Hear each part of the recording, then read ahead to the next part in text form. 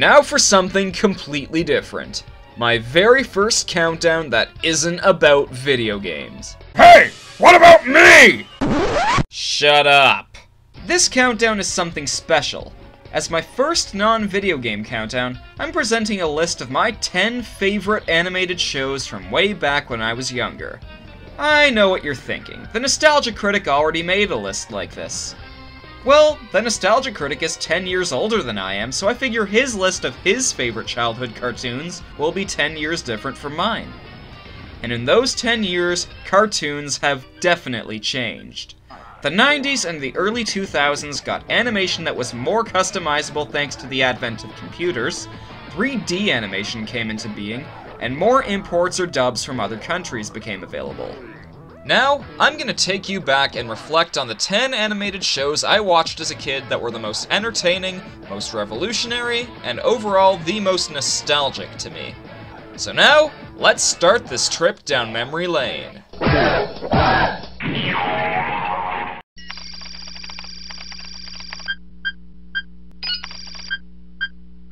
Tell me this isn't a cool concept.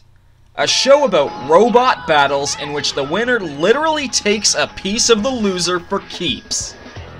Oh yeah, Medabots was awesome. Even though the robot fighting concept was played very straight, Medabots was a unique dub anime in that even the source material was very tongue-in-cheek and was never afraid to poke fun at its own genres. The robot partner of the main character, Ikki, is a sassy rebel who often fires back if Ikki pisses him off accidentally.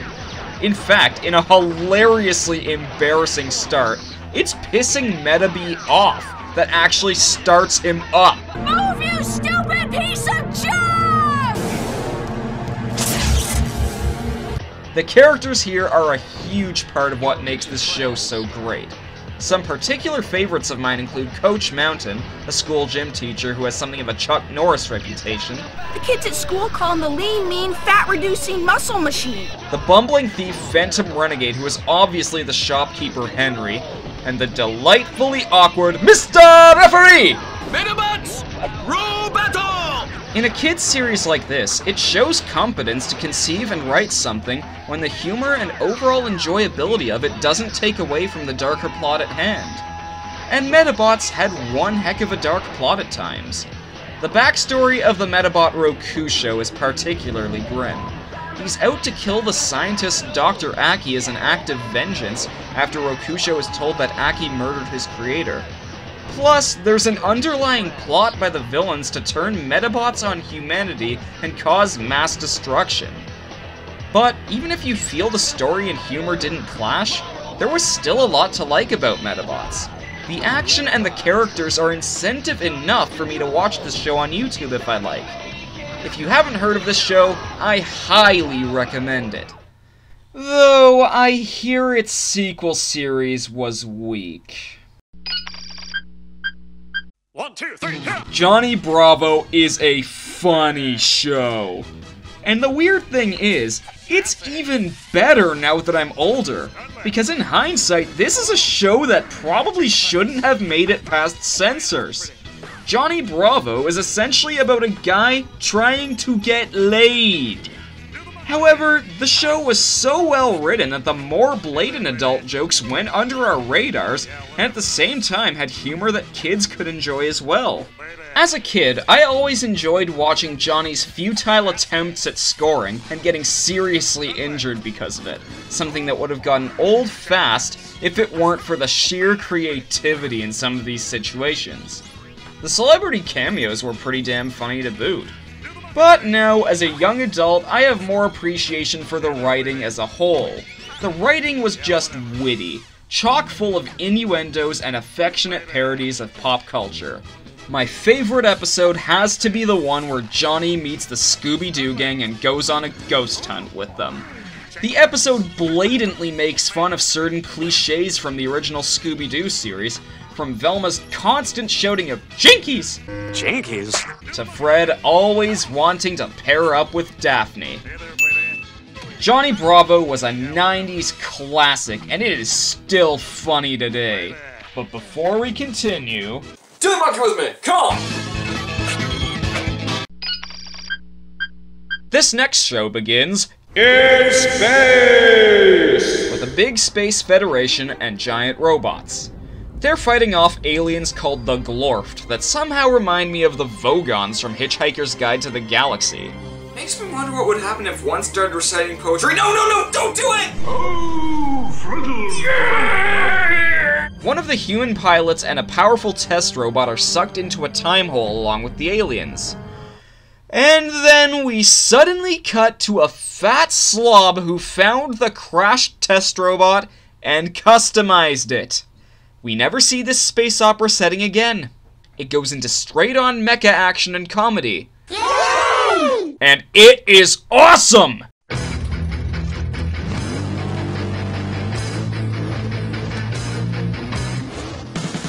Megas XLR is a series that asks the viewer an important question.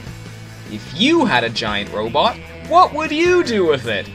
In the case of Coop, he'd use it to walk along a highway just to get a slushy, and then fight off whatever alien menaces get in his way. This show comes complete with ridiculously awesome mecha battles, crisp hybridized animation, a super catchy theme song, hilarious banter from our moron protagonist Coop, All right, you alien chumps, you in my town. And nobody gets to wreck it. Um, except for me. And some miscellaneous funny moments. One random thing I found really funny for some reason is where in one episode, loud Latin chanting plays every time the monster of the week appears. A tiny, invincible nanobot named Regis.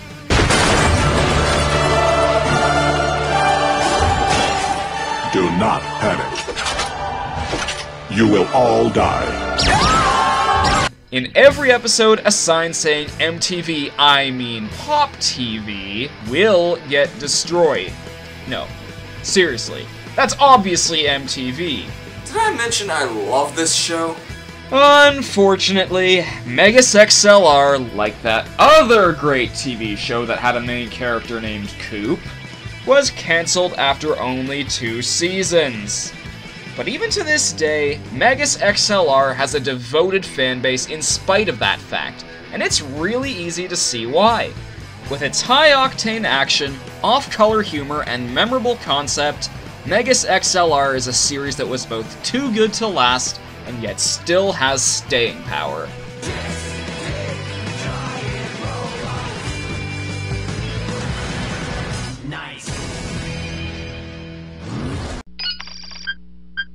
After the utter suckage that was Attack of the Clones, the three year wait for Star Wars Episode 3 had begun. The Clone Wars were introduced to us, giving countless more opportunities for the series to whore itself for cash.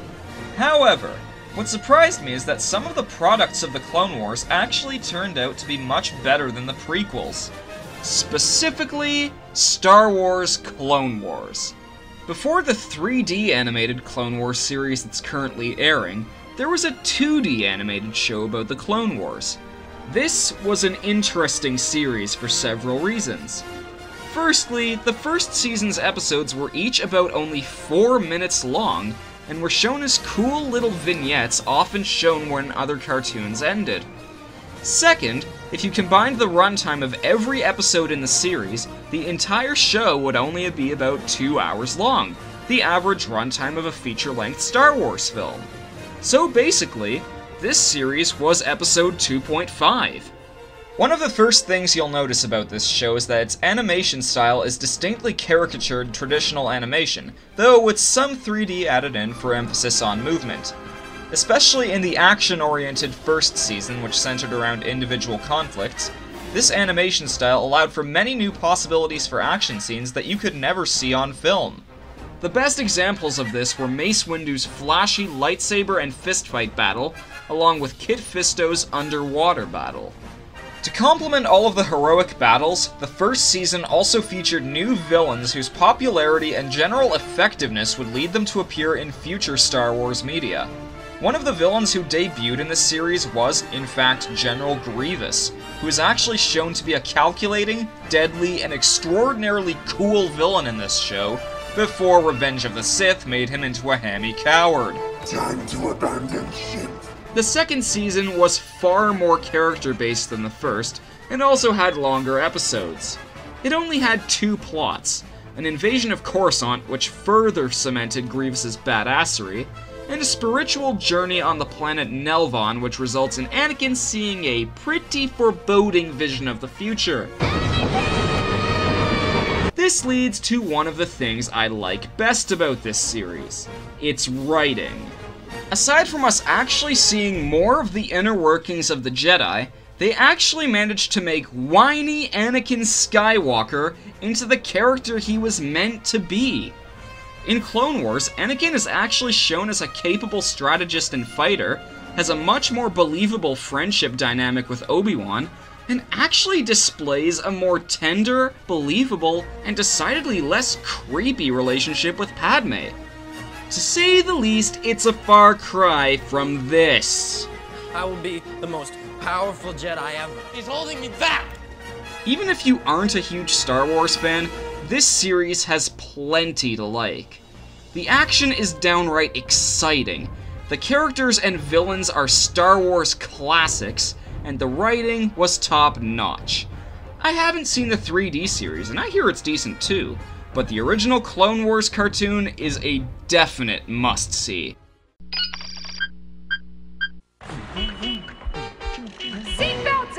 Now, this show is the oldest one on this list, and also the one probably made for the youngest audiences. Regardless, The Magic School Bus was a show that's nostalgic to me both as a legitimately entertaining cartoon and as a show that made learning about science fun. Yes, in many ways, this show changed the course of my life forever. Because I decided to go into film instead of science.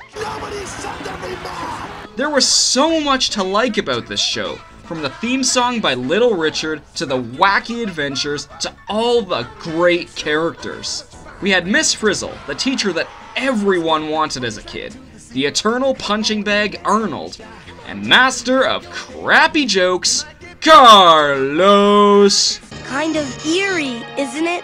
Get it? Eerie? Carlos! The trips they went on were also really cool. From a trip where they literally experienced the water cycle to a trip through the whole solar system. I mean, seriously, why were all my teachers so down to earth?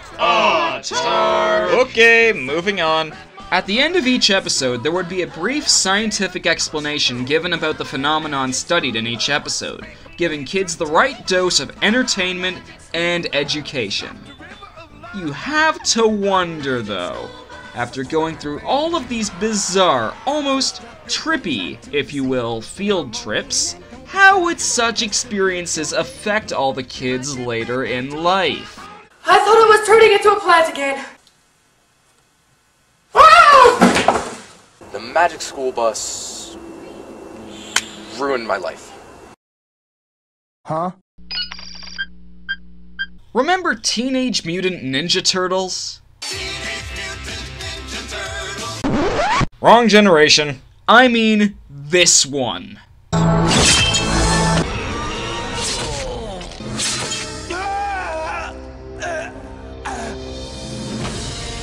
Yeah, this is not like the 80s series.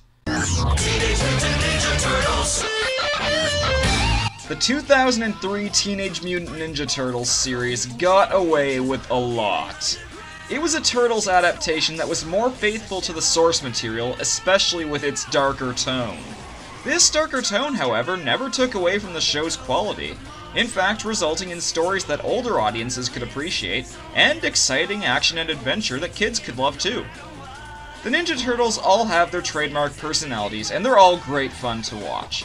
Aside from the fleshed out action and decent amount of actual ninja fights, this series had strong, consistent mythology and several compelling plot threads.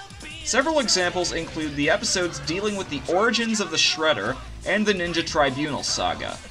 Speaking of the Shredder, he's easily one of the show's major selling points. He actually lives up to his name here. He's humorless, looks like a walking armory, and is nigh invincible. A fact which leads to a pretty shocking plot twist later in the series. Though this show was very dark, this dark tone was often used to create intrigue rather than for the sake of being needlessly cruel. There's an episode dealing with the consequences of cloning, an episode that borrows directly from the Cthulhu mythos, and an episode that takes place in a grim universe where New York is controlled in a totalitarian state by the Shredder. The possibilities for adventure across time, space, and even in New York itself were endless. And as a result, what we got was a series that was always fresh. The series even paid a few good tributes to the original 80s series. I hate walking on my bicycles! Oh, shut up, Frank! Overall, this was an excellent show, with an outstanding feel of adventure and stories that took heavy risks. Though I never watched the show's later seasons, what I did watch of this series was the stuff of nostalgia, cementing it in this high spot on this list. One, two, three, four,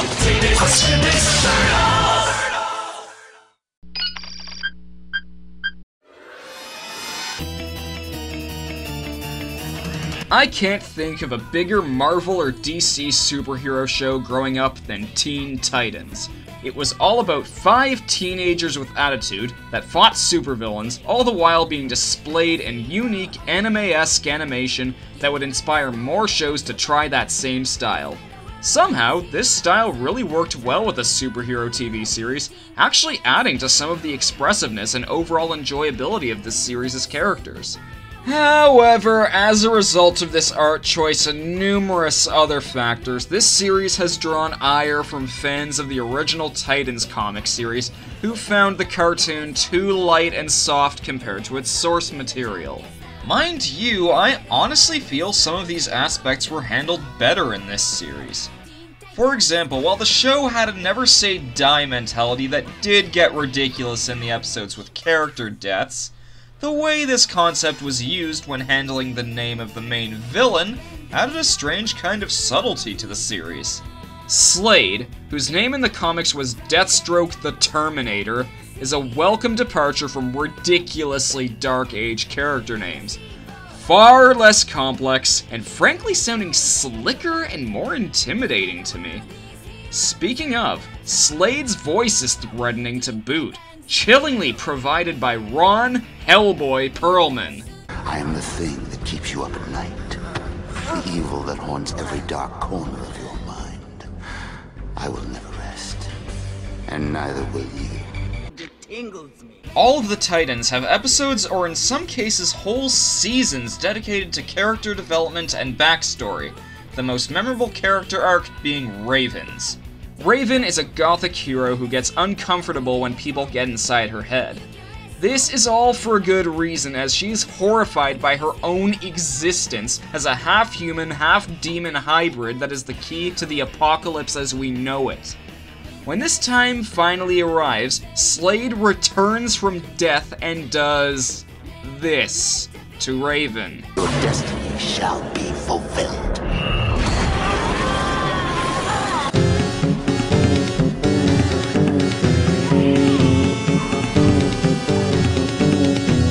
And when Raven finally embraces her fate as the harbinger of death, this happens.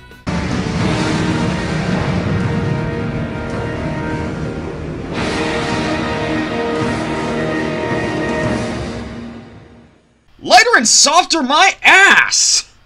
Even aside from the blatantly darker and edgier episodes, the show did tackle a lot of serious issues, including morally gray characters, racism, and even post traumatic stress. It takes a very well written show to create a cast of characters that can be fun to watch and at the same time be developed intricately. In those ways, Teen Titans delivered. Combine this with the show's memorable character arcs, groundbreaking animation, and genuinely awesome action, and you've got yourself a show to remember. When there's boredom, you know who to call.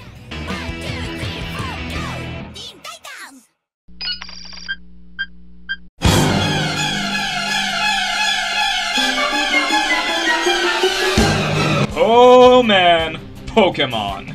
Combined with Power Rangers, this show practically defined 90s pop culture.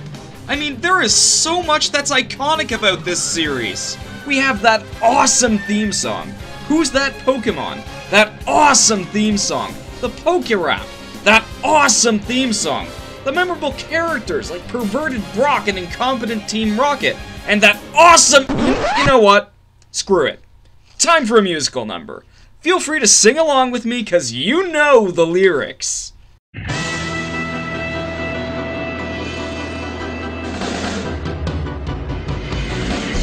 wanna be the very best, like no one ever was. To catch them is my real test, to train them is my cause. I will travel across the land, searching far and wide. Pokemon to understand the power that's inside. Pokemon, gotta catch up, it's you and me. I know it's my destiny. Pokemon, oh, you're my best friend in a world we must defend.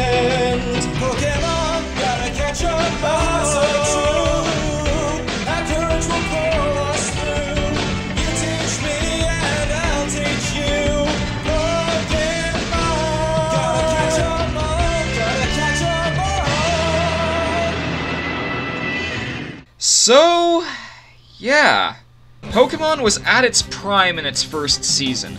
It had many memorable Pokemon battles, with special mention going to the gym battles, and also some genuinely touching moments, with the saddest episode ever being Pikachu's goodbye.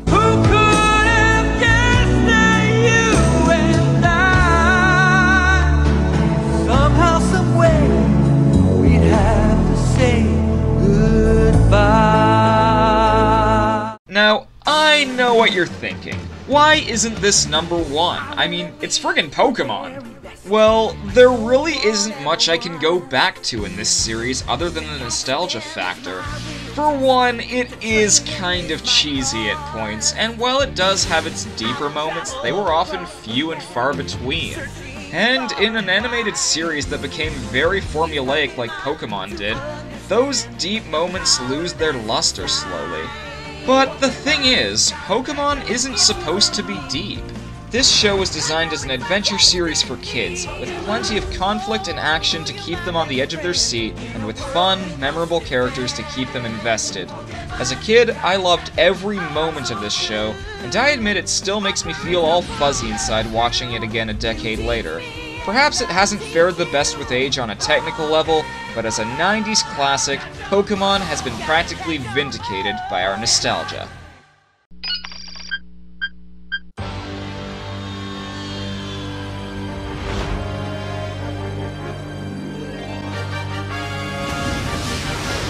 I know exactly what you're thinking. A Transformers series where the alternate forms are animals? That is totally ridiculous! Well, beneath that concept, Beast Wars was a series that went above and beyond your standard toy-based series, and became renowned for its epic storyline and for being a generally revolutionary cartoon. This show was among the first animated series to be entirely computer generated. I have to admit, it was really primitive in Season 1, but by Seasons 2 and 3, its animation became pretty damn solid. The heavy cost of this new animation led to another groundbreaking aspect of this series a smaller cast. This may sound like a bad thing, but for Transformers, it's a godsend.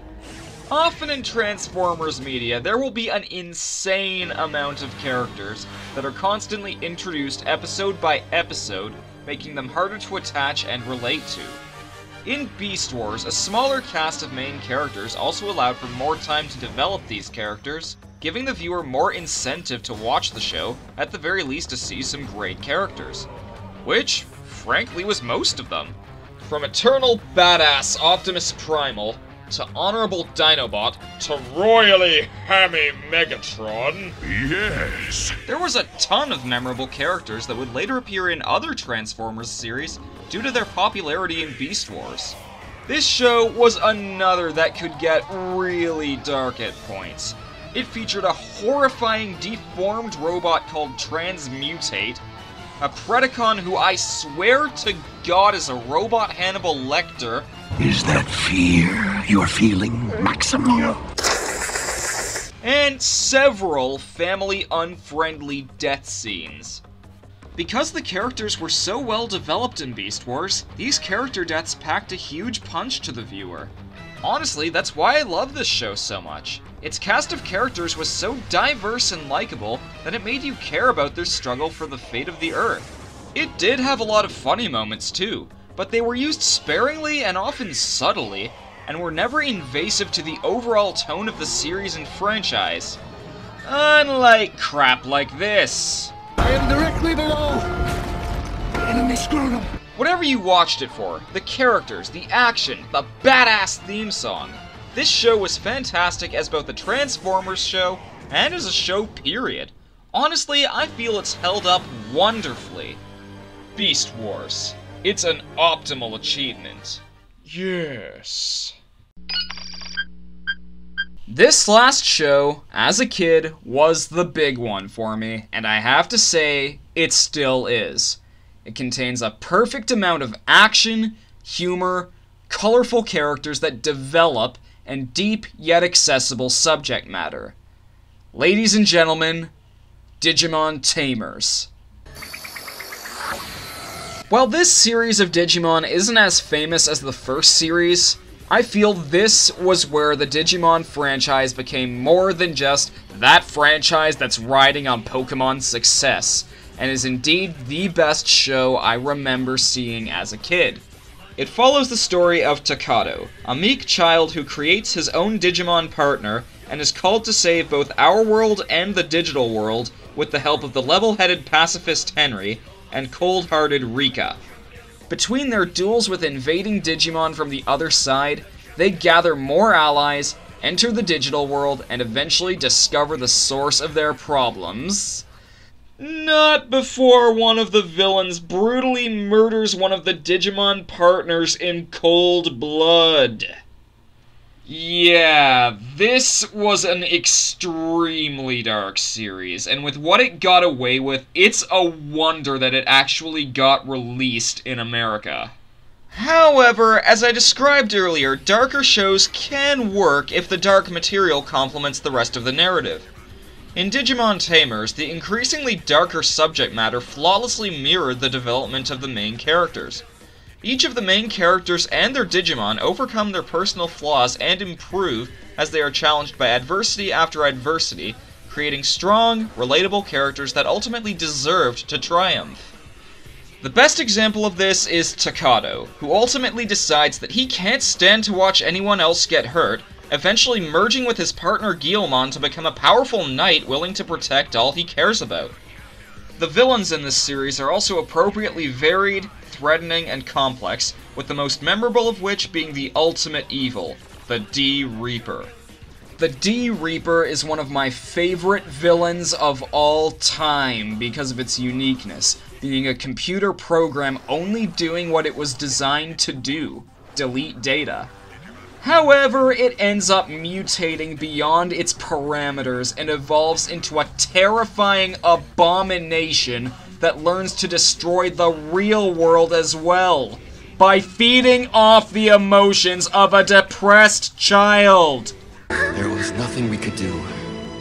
I'm sorry.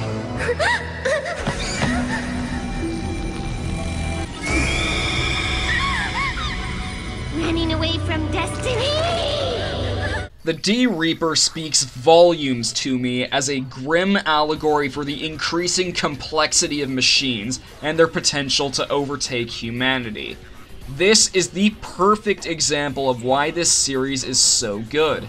It presents poignant and frankly relevant messages in equally poignant ways, done in such a way that anyone can understand them. In Digimon Tamers, there also exists themes of destiny as presented through Jeri's internal dilemmas, and misuse of power, shown horrifically through Beelzemon's insane tirade of power absorption and his subsequent downfall and redemption. But even aside from this show's excellent story writing, there is still plenty about this series to enjoy. The action scenes in this series are absolutely epic, with special mention going to the emotion-packed duel between Gallantmon and Beelzemon, and the final battle with the D Reaper. We do deserve to exist! You don't! The humor writing's even very well done for a dub anime, featuring genuinely funny jokes that don't have to resort to lame puns like the first two Digimon series. One scene that always puts a smile on my face is just after Takato first meets Guilmon. I'm Takato. Takato man? Uh, uh, I'm not a Digimon. Takato. Takatomon. Uh... See, in the end, that's why I love this series so much. It's entertaining on its own, yet it can still pull off a 50 episode narrative that's ultimately very rewarding due to the exceptional growth the characters go through.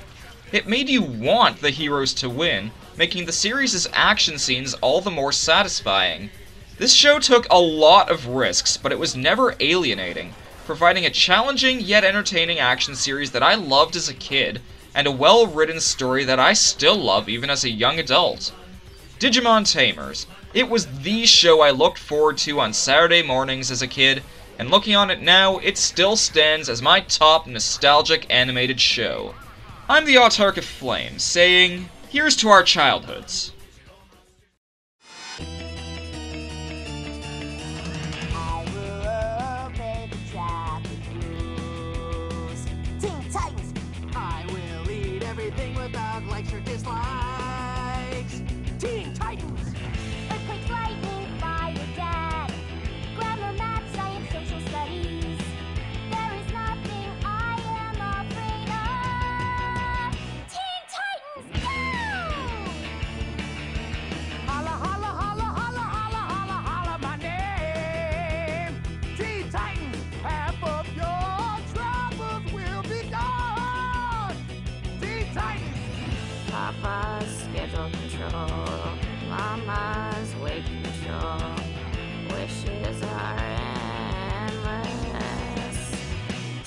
Titans go.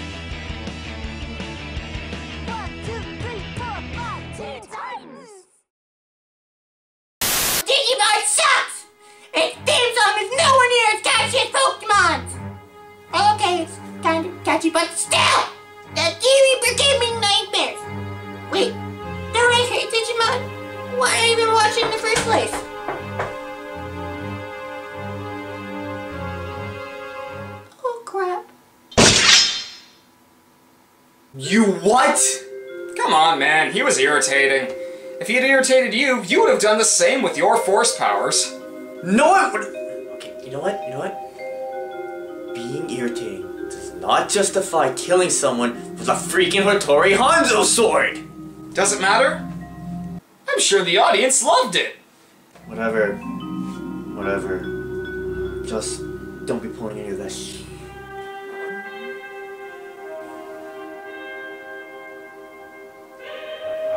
Yeah, this, uh, freedom is talking, is it? Nah. What?